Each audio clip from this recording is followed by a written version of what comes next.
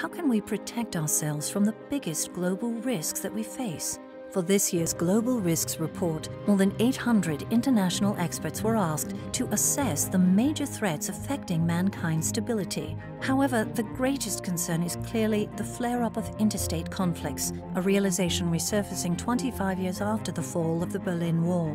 While we're able to break down physical barriers between nations, we're still haunted by tensions and mistrust. Creating trust is the challenge, but it's also the solution.